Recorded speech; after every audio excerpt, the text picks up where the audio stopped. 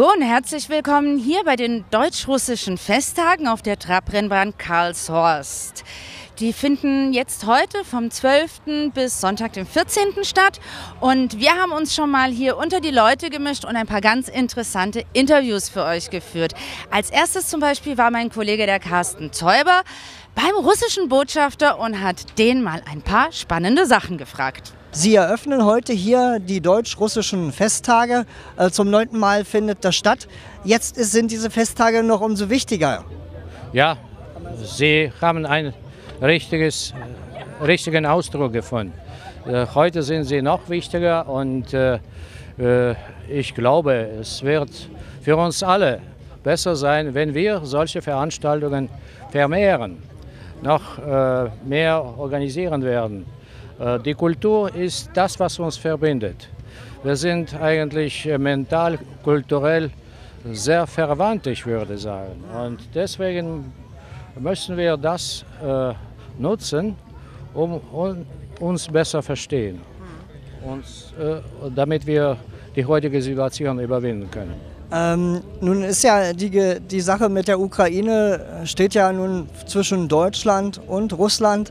Ähm, Sie sind der Botschafter, Sie können ja da nicht so viel tun, äh, aber Sie tun Ihr Möglichstes, denke ich mal. Die Sache über die Ukraine, natürlich, äh, das ist äh, die, die Ukraine-Krise, äh, das, was äh, heute äh, die politische Wetterlage natürlich äh, dramatisch verändert hat. Äh, und wir müssen alles machen, um diese Krise beizulegen. Wirtschaftlich ist ja Russland auch ein wichtiger Partner. Ähm, das merken wir vor allen Dingen im Winter, wenn, das, wenn wir das Gas, wenn das Gas unsere Wohnung heizt. Ähm, Gazprom ist ja hier auch heute äh, da und präsent. Die Sanktionen, die haben ja beide Seiten jetzt in, in dem letzten Jahr getroffen. Ähm, wie sieht das aus? Wie sieht es bei Ihnen in der Heimat aus? Wie, welche Auswirkungen haben diese Sanktionen von deutscher Seite bei Ihnen? Äh, sicher, die Sanktionen haben unsere, äh, unseren Handel äh, stark getroffen. Besonders gelitten hat eigentlich der deutsche Export. Der ist äh, zurückgegangen, äh, sehr äh, stark und der, die deutsche Wirtschaft, die bei uns auf dem Markt, auf dem russischen Markt agiert, fühlt sich nicht wohl. und ich glaube, dass wir bei all dem alles Mögliche machen müssen, um diese äh, Errungenschaften in, der, äh, in, den wirtschaftlichen Beziehungen nicht reduzieren äh, äh lassen. Äh, weißt du, das ist wirklich das, was wir gemeinsam aufgebaut haben.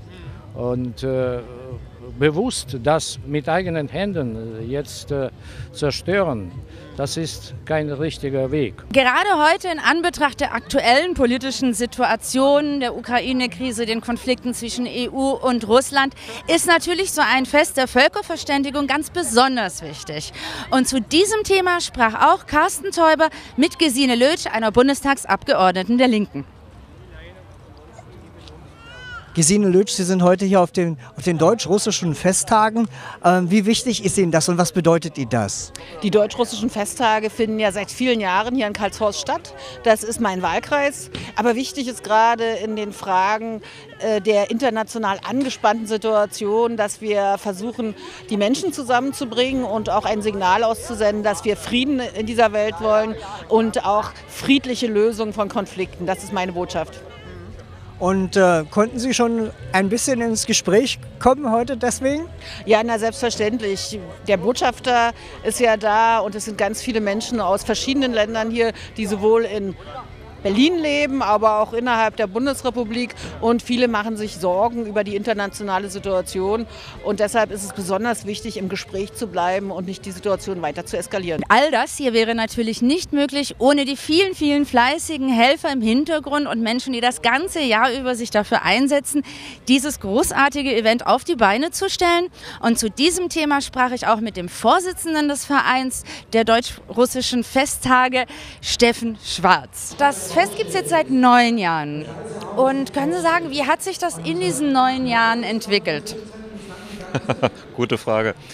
Also ich würde sagen, vom anfänglich, äh, wenn wir es mal an den Besucherzahlen festmachen, 50.000 Besuchern an drei Tagen, haben wir jetzt stabil 150.000 Besucher. Also es ist eigentlich das größte Fest seiner Art, also deutsch-russisches Kulturfest, was es hier in Berlin auf jeden Fall, wenn nicht sogar deutschlandweit gibt.